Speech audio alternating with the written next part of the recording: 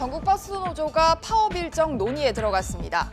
버스 노조가 압도적인 찬성으로 파업을 의결한 만큼 오는 15일 버스 2만 대가 운행을 멈추는 버스 대란이 현실화될 것으로 우려됩니다.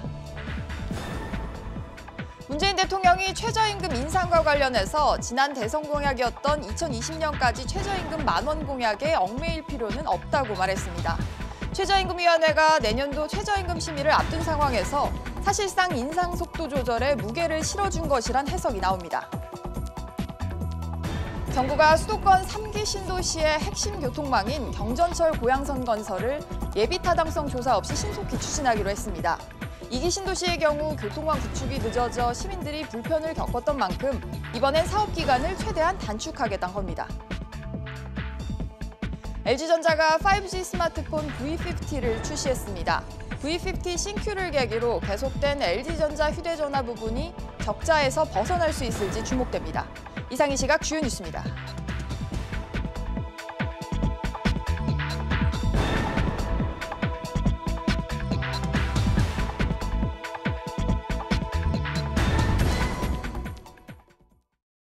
첫 소식입니다. 미국이 예고한 중국산 수입품에 대한 관세 부과 시점이 임박했습니다. 미국과 중국 두 나라 간의 협상이 진전됐다는 소식은 전해지지 않고 있는데요. 긴장감이 높아지고 있는 상황인데 현재 우리 금융시장 상황은 어떤지 알아보겠습니다. 임종윤 기자. 예, 여의도 금융감독원에 나와 있습니다. 네, 임 기자, 어제 금융시장이 크게 출렁거렸는데요. 오늘은 주식시장이 상승하고 있다고요? 그렇습니다. 코스피는 시작부터 강세를 보이면서 조금 전 11시 20분 현재 어제보다 12포인트 오른 2114에 거래되고 있고요. 코스닥도 상승으로 출발했다가 잠시 하락세로 돌아선 뒤 10시 40분쯤 다시 상승세로 돌아서서 이 시간 현재 어제보다 2포인트 오른 726선에서 거래가 되고 있습니다. 어제 1180원 육박하면서 2년 4개월 만에 최고치로 치솟았던 환율은 11시 어, 20분 현재 어제보다 0.04원 하락한 1179.2원에 거래가 되고 있습니다. 네, 이제 곧 미국의 관세 부과, 부과 시점이 되는데도 시장 분위기는 어제와 좀 다른 것 같습니다. 그렇습니다. 일종의 폭풍 전야인데 그렇게 공포 분위기가 보이지는 않습니다. 어, 이런 상황 관련해서 IBK 투자증권의 정용태 리서치 센터장은 어, 최근 단기간에 증시가 100포인트 이상 하락한 데다 관세 부과 시점이 임박하면서 투자자들이 낙관적인 쪽으로 베팅을 하고 있다는 해석을 내놨습니다. 미국과 중국 간의 협상이 결렬돼서 무역 전쟁이 벌어지는 파국으로 치닫기보다는 협상 기한 연장과 같은 부분 타결이 이루어질 가능성이 높다는데 투자자들이 더 무게를 두고 있다는 의미인데요. 물론 어, 협상이 최종 결렬된다면 오후장은 물론이고 다음 주 초까지 장이 크게 요동칠 수 있다는 전망도 덧붙였습니다. 네, 그렇군요. 조금 전에 이거 관련해서 한국은행에서 대책회의가 열렸다고요? 그렇습니다. 오늘 오전에 한국은행에서 금융경제 상황회의가 열렸는데요. 어, 이 자리에서 이주열 한국은행 총재는 미중 무역 협상의 불확실성이 높아지면서 시장의 변동성이 커지고 있다면서 어, 정부와 협력해서 시장 안정화에 노력해 달라고 당부의 말을 남겼습니다. 지금까지 금감원에서 SBS MBC 임종현입니다.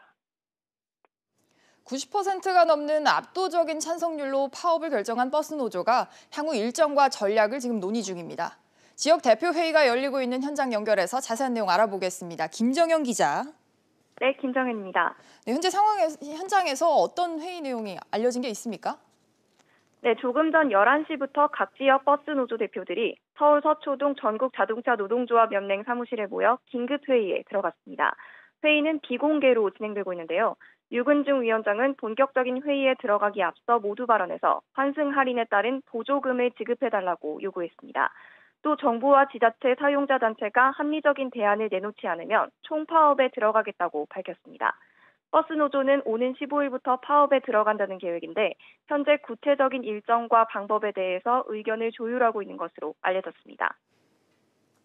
네, 정부와 지자체에서는 관련 대책이 나온 게 있습니까? 아직까지 특별하게 나온 대책은 없습니다. 주무부처인 국토부는 버스 재정 지원은 중앙정부의 재정 지원 권한이 없고 각 지자체의 요금 인상에 따라 해결하면 된다는 입장인데 반해 각 지자체는 버스 요금 인상이 부담스럽다며 별다른 대책을 내놓지 않고 있습니다. 사용자 단체들은 노동 시간이 줄어 새로 기사를 더 뽑아야 하는 등 부담이 커서 기존 기사들의 임금을 보전해주기 어렵다는 입장입니다. 만약 추가 협상이 결렬되고 실제 파업으로 이어진다면 전국 2만여 대의 버스가 15일부터 운행을 멈출 것으로 예상됩니다. 지금까지 자동차 노련에서 SBS CNBC 김성현입니다. 문재인 대통령이 취임 2주년을 맞아서 자신의 국정 철학에 대해서 언급을 했습니다. 특히 최저임금 관련해서는 내년 만원 달성에 얽매일 필요가 없다고 밝혀서 사실상 속도 조절을 시사했는데요. 관련해서 취재기자 연결해서 알아봅니다. 장가희 기자. 네, 장가입니다. 장 기자, 어제 문 대통령이 최저임금 등 여러 현안에 대해서 입장을 직접 밝혔잖아요. 어떤 얘기가 나왔습니까? 네, 문 대통령은 과거 대선 당시 공약이었던 2020년까지 최저임금 만 원에 얽매여 무조건 그 속도대로 인상돼야 하는 것은 아니라고 전했습니다.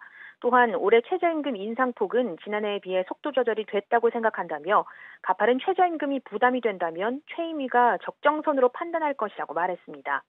그러면서 1분위와 5분위 임금 격차가 최대로 줄고 고용보험 가입자 수가 늘어났다며 긍정적인 부분도 언급했습니다. 문 대통령의 공약대로라면 내년 인상률이 19.8%가 돼야 하는데 이는 사실상 불가능한 상황입니다. 문 대통령은 최저임금 인상과 함께 정부의 양대 노동정책으로 꼽히는 노동시간 단축에 대해 300인 이상 기업에서 주 52시간 노동제도가 거의 안착하고 있다고 평가했습니다. 그렇군요. 여기에다가 우리 경제가 최근 수출과 부진, 투자 부진을 겪는 등 어떤 경기 둔화의 국면에 들어섰다는 평가가 나오는데 이에 대해서도 대통령께서 언급이 있었습니까? 네, 문 대통령은 1분기 국내 총생산이 전분기보다 0.3% 감소하고 1년 전보다 1.8% 증가하는 데 그친 데 대해 걱정되는 대목이라고 우려했습니다. 그러면서 올해 연간 성장률 목표는 적어도 2.5에서 2.6% 정도로 앞으로 더 만회해야 한다고 강조했습니다.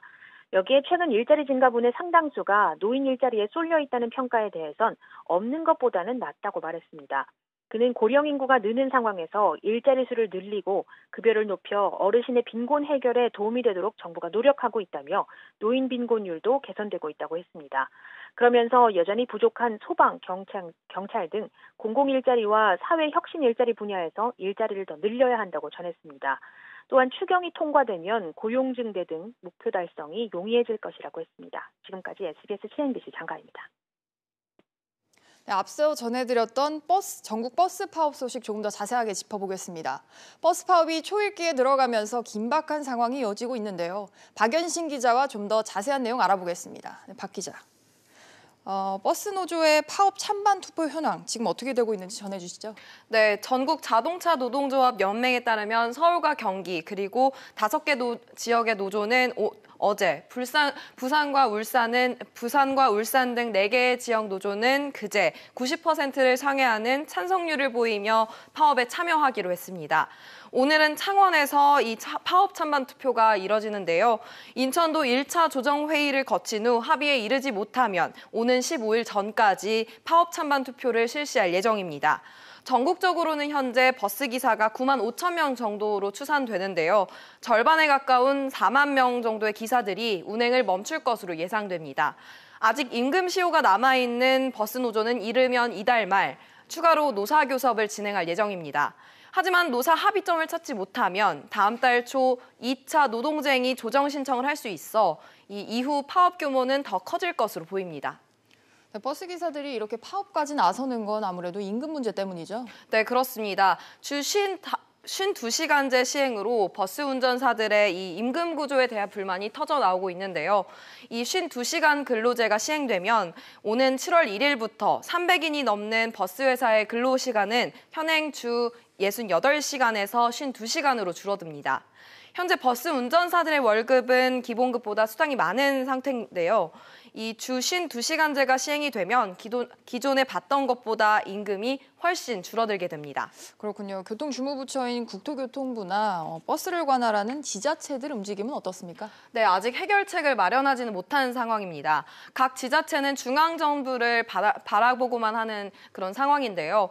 이, 하지만 국토부는 각 지방자치단체에 이 버스 요금 인상을 권고하면서 삭감되는 버스 운전사들의 임금을 보전하라고 권고를 하고 있습니다. 하지만 네, 고, 고소하고 있습니다. 그런데 이번 버스 파업이 현실화가 되면 당장에 이제 버스를 다음 주부터 이용할 승객들이 불편이 크게 예상이 되는데 어떻습니까? 네.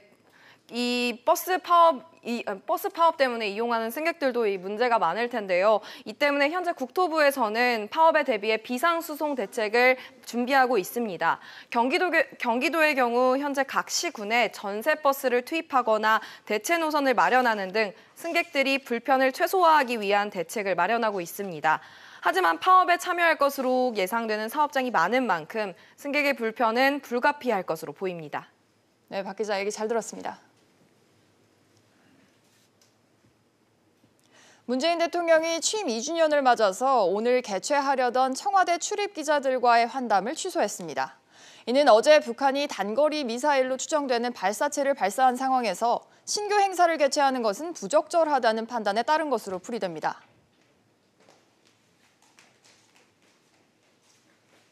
구직자 3명 가운데 2명은 올해 상반기 일자리 찾기가 더 어려워졌다고 느낀 것으로 조사됐습니다.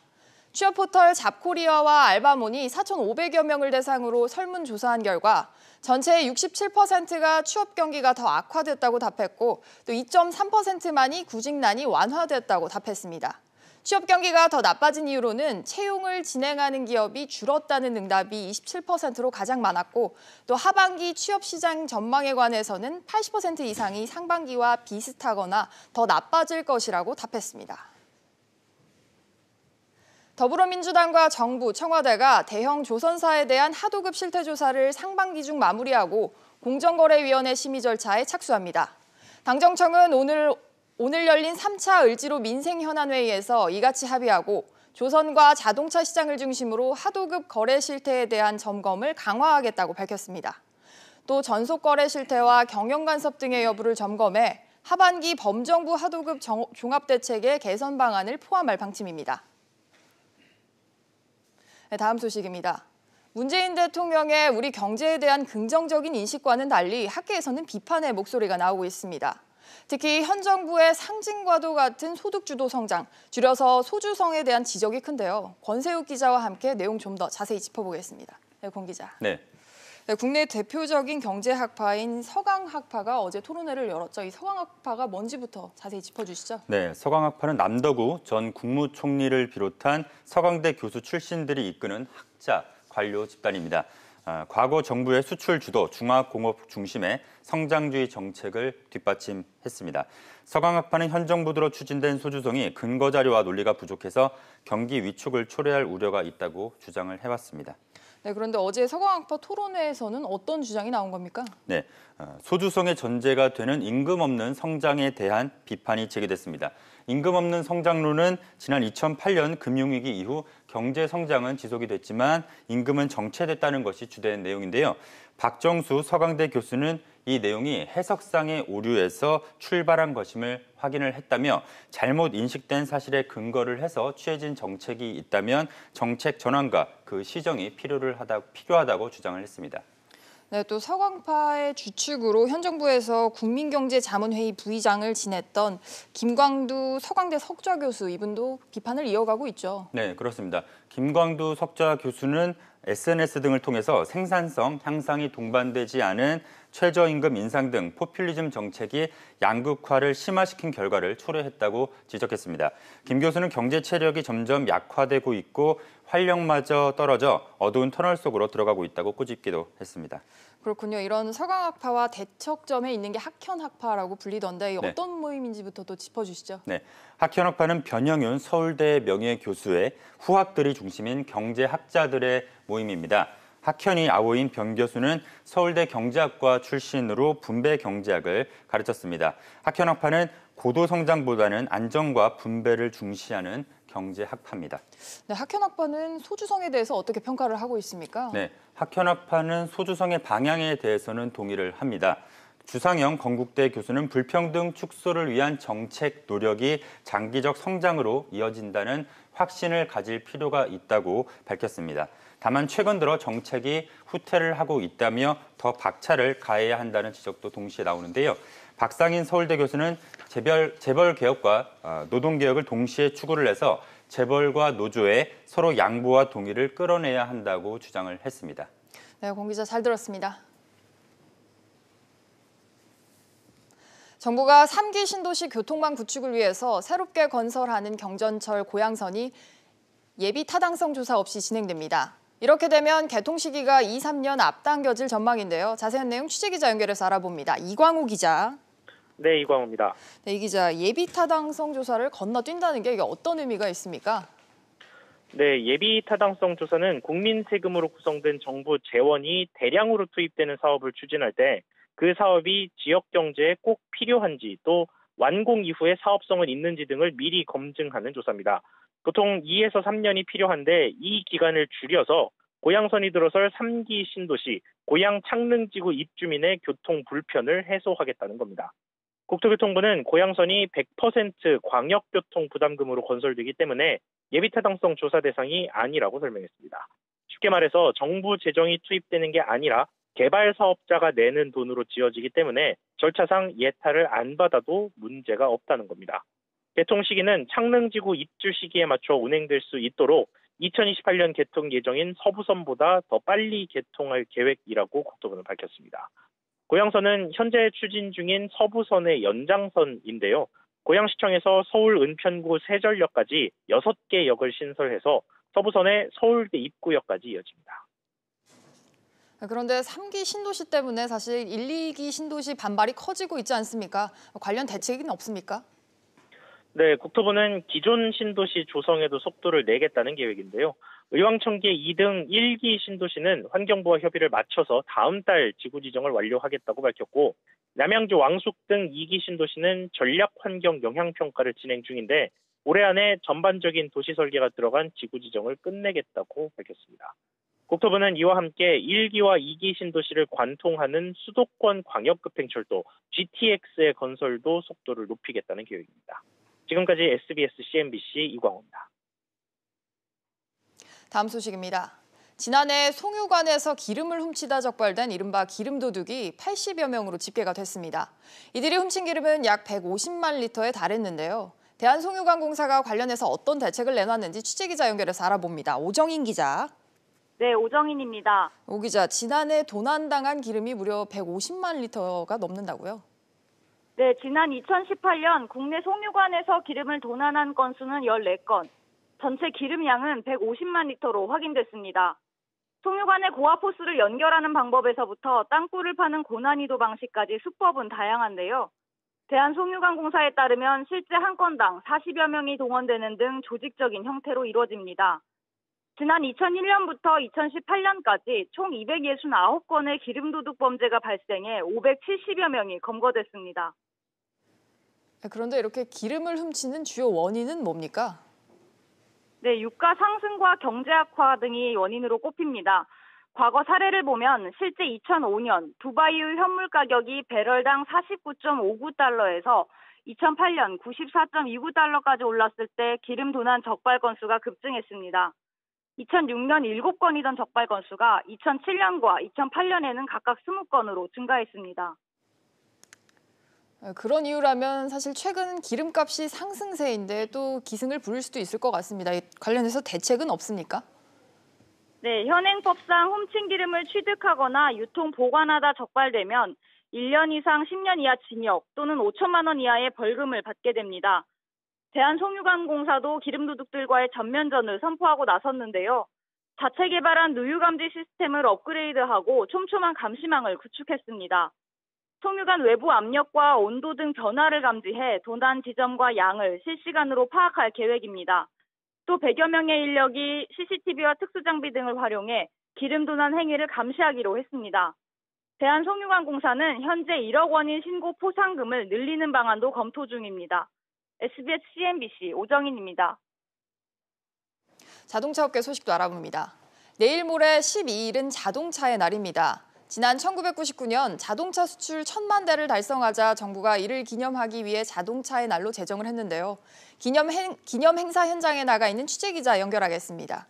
네, 윤지혜 기자, 자동차의 날 행사가 지금 열리고 있죠. 네, 저는 서울 모처에서 열리는 자동차의 날 행사장에 와 있습니다. 11시쯤 행사가 시작해서 아직 진행하고 있는 상황인데요. 어, 행사에는 국내 자동차 업계 관계자 200여 명이 참석을 했습니다.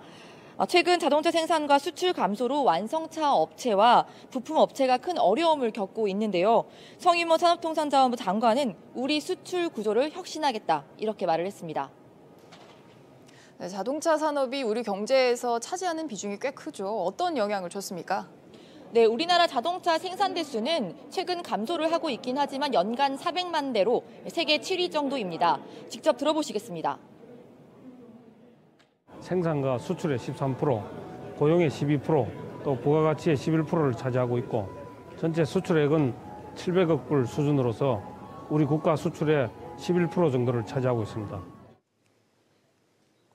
그런데 미국 관세 232조 부과 결정이 바로 초읽기에 들어갔지 않습니까? 우리나라 대응 네, 상황은 관세 어떻습니까? 부과 여부가 그 어, 미국 현지 시간으로 오는 18일 결정이 날 예정인데요. 예, 만일 부가로 결정이 날 경우 우리나라 자동차 수출은 큰 타격을 맞게 됩니다.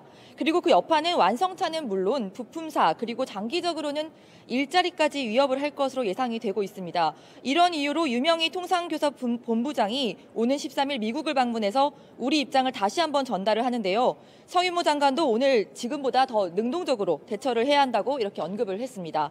지금까지 자동차의 날 행사장에서 SBS CNBC 윤지혜입니다. 출시를 미뤘던 LG전자의 첫 5G 스마트폰 V50 신큐가 오늘 출시됐습니다. V50 ThinQ를 계기로 계속된 LG전자 휴대전화 부분이 적자에서 벗어날 수 있을지 주목되는데요. 취재기자 연결해서 알아봅니다. 김현우 기자. 네, 김현우입니다. 네, 김 기자, 소비자들 반응은 어떻습니까? 네, 소비자들은 화면이 두 개인 dual 스크린에 주목했습니다. 조금 전 LG U 플러스 서울 무교로점에서 첫 번째 V50 ThinQ 구매자가 나왔는데요. 좋아하는 야구를 보면서 다른 업무를 할 수 있는 게 좋다고 구매 이유를 설명했습니다. 다른 고객들도 이처럼 기존 스마트폰에 없던 큰 화면과 멀티태스킹을 높게 평가했습니다. LG전자도 첫 5G 폰에 큰 기대를 걸고 있는 것 같은데요. 네, LG전자는 V50 싱큐를 통해 스마트폰 부진을 떨쳐낸다며 공격적인 마케팅에 나섰습니다. 출고가는 삼성전자 갤럭시 S10 5G 256GB보다 20만 원 정도 싼 119만 9천 원으로 책정했습니다. 최대 77만 원의 공시 지원금과 대리점 추가 지원금까지 받으면 31만 원 선에서 살 수 있습니다. 또 다음 달까지 20만 원 상당의 dual 스크린을 무상으로 제공합니다. 네, 그런데 V50의 dual 스크린이 갤럭시 폴드 출시 연기로 재조명이 되고 있다면서요. 이건 어떤 얘기입니까?